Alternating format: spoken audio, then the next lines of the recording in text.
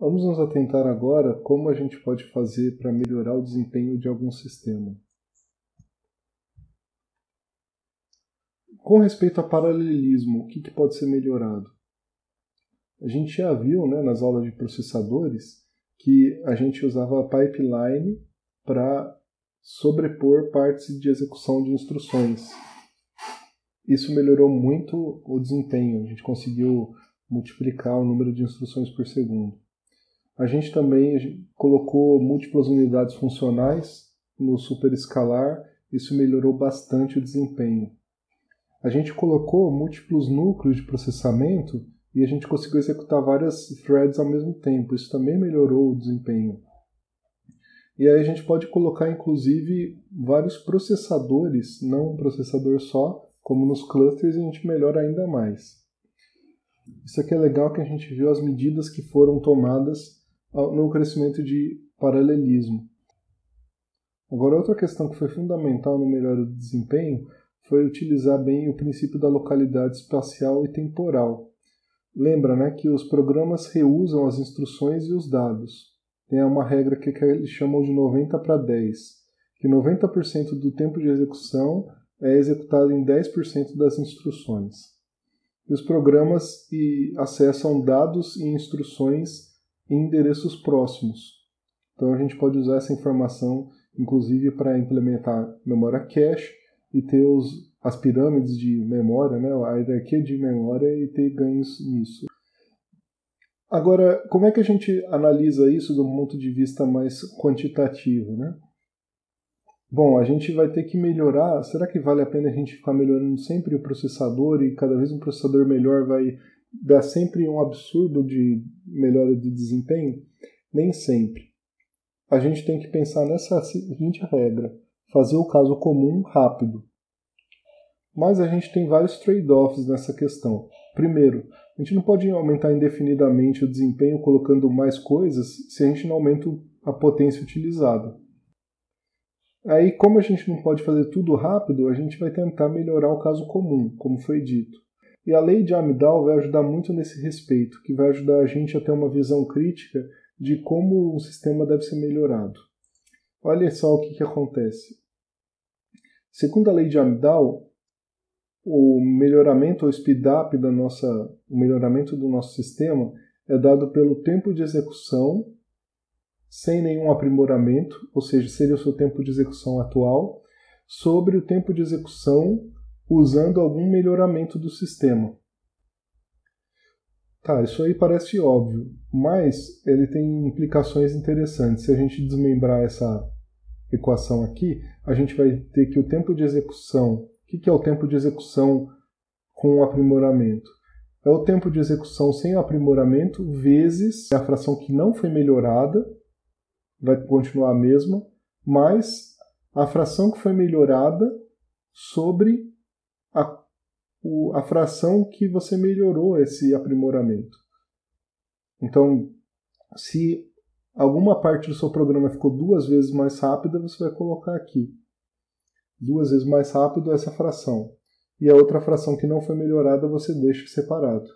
Ou seja, então essa, o speedup final ele é dado pelos dois tempos de execução, o antigo sobrenome, que a gente pode escrever dessa forma aqui. Então, o melhor ganho possível de desempenho, qual vai ser? Quando a fração que a gente melhorou fica desprezível, quer dizer, isso aqui já não conta mais nada. Se a gente tirar isso aqui da equação, vai sobrar 1 sobre a fração não melhorada.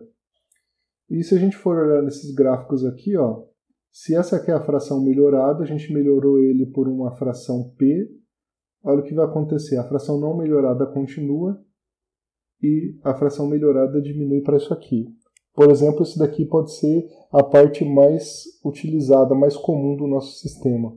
Mas mesmo assim ela pode ser pequena em relação ao todo, né? Pode ter várias frações aqui de várias atividades, vários comportamentos. Olha esse exemplo aqui e tentem responder. Você tem um computador que é 10 vezes mais rápido agora. Você melhorou a fração do seu sistema, foi o CPU, 10 vezes mais rápido. Só que o I/O ele é a parte mais frequente do seu sistema, ele é 60% do tempo. Os outros 40 são a CPU. Tentem usar a lei de Amdahl, as equações que a gente viu, e calcular quanto vai ser o ganho que vai ter nesse sistema. Então está aqui a resposta, né? Se a gente tem um speedup, a equação do speedup é 1 sobre a fração não melhorada mais a fração melhorada sobre o speedup.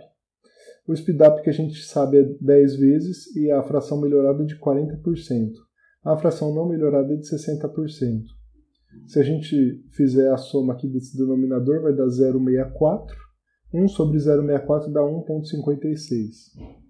Quer dizer, isso aí pode ser muito enganoso, né? Porque do nosso ponto de vista a gente falou, poxa, a gente melhorou a nossa CPU 10 vezes. Mas não adianta nada se a gente não melhora o nosso I.O. Vai ficar um ganho de velocidade de apenas 1.5 ou 1.6. Agora, Pensando do modo prático, é aquilo que acontece quando você tem um HD muito lento no seu computador. Se você troca o seu SSD por um SSD um pouco mais rápido, talvez o impacto no speedup final vai ser maior do que você pegar uma CPU mais rápida. O speedup com relação ao número de processadores na prática segue também a lei de Amdahl e ele também tem um problema, né? No caso ideal, que a gente conseguiria paralelizar todos os programas perfeitamente, a gente teria uma melhora de cada processador que a gente põe, a gente vai melhorando é, proporcionalmente o nosso desempenho. Mas segundo a lei de Amdahl, você não consegue melhorar indefinidamente. O que está embaixo dessa linha aqui é a fração que é, não é aprimorada. Você não tem como melhorar mais do que essa linha. Então, segundo a lei de Amdahl, a gente vê isso. Só que quando a gente vai colocando mais cores, o que acontece na realidade é isso aqui. Depois de um determinado momento, a gente começa a perder desempenho. E por quê? Porque você tem um custo de colocar mais processadores no sistema. Lembra? Barramento, memória, coerência de cache, comunicação entre processadores, escalonamento de tarefas, tudo isso faz com que a curva prática caia ao invés de subir depois de um determinado número de processadores. Então, o sistema tem que ser muito bem projetado para que ele consiga utilizar muito bem os, os, os núcleos. Quando a gente fala de desempenho de CPU, a gente costuma medir o tempo de CPU e o número de ciclos por instrução. Essas duas medidas aqui são importantes. O que é o tempo de CPU? O tempo de CPU é o número de ciclos de clock que a CPU executou vezes o tempo do ciclo de clock. A gente já fez até um exercício sobre isso daqui, né, anteriormente. E o tempo das instruções é o número de ciclos de, por instrução vezes o tempo do ciclo de clock.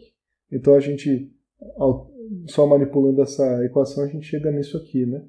Que os ciclos de clock por instrução é o número de ciclos de clock sobre o número de instruções. O ideal é que esses ciclos por instrução seja reduzido para a gente conseguir diminuir o tempo de processamento, o número de ciclos de clock da CPU para o mesmo conjunto de instruções. Então a gente consegue reescrever essa equação aqui fazendo uma substituição do CPU, número de ciclos de clock da CPU, pelo número de instruções vezes o número de ciclos de clock por instrução. Aí o que, que a gente tem? A gente tem uma compreensão melhor do que, que leva em conta o tempo de CPU. O tempo de CPU vai depender, primeiramente, de quantas instruções a gente tem no nosso programa. Isso aqui não dá para a gente mudar muito. A gente vai ter o número de ciclos de clock por instrução. Aqui a gente atacou muito quando a gente fez pipeline, depois superescalar, multicore, etc. Multithread. E depois a gente tem segundos por ciclo de clock. Isso aqui a gente melhora o quê? Na frequência do ciclo de clock que foi melhorado até pouco tempo atrás, mas agora estacionou. Como é que a gente calcula o, ciclo, o número de ciclos de clock médio? Aí depende dos tipos de instrução que a gente tem, né?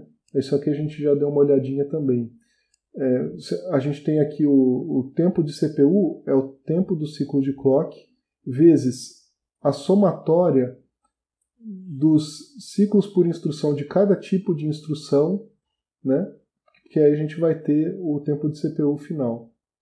Quer dizer, o CPI ainda pode levar em conta os tipos diferentes de instrução e quanto a CPU demora para executar cada tipo diferente. Quer dizer, não adianta a gente também, pela lei de Amdahl, especializar a CPU para executar multiplicações muito rápidas se a gente demora, por exemplo, muito na divisão. Ou a gente melhora muito nas instruções em números inteiros e piora nas instruções de ponto flutuante. Tudo tem que melhorar junto, segundo a lei de Amidal, para a gente não ter um gargalo em alguma parte.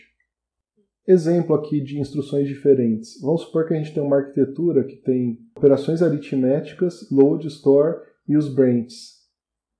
Aqui está a frequência deles, aqui está o número de ciclos por instrução. O número de ciclos por instrução de instruções aritméticas já está em 1. Não tem como você melhorar mais, certo? Não dá para pôr meio aqui.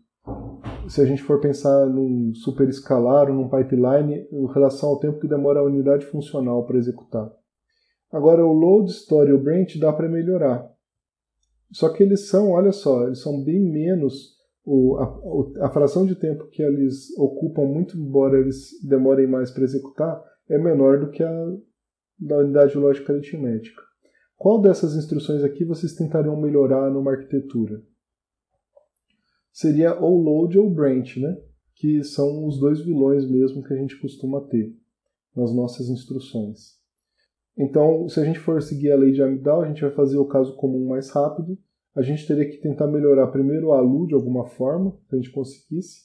No caso, o, a ideia seria tentar melhorar o, a frequência do, do, ciclo de clock. Porque se a gente abaixar aqui de 2 para 1, um, e mas pagar um preço de aumentar o, a frequência de clock, a gente vai acabar piorando essa e as outras, e que vai ficar muito caro.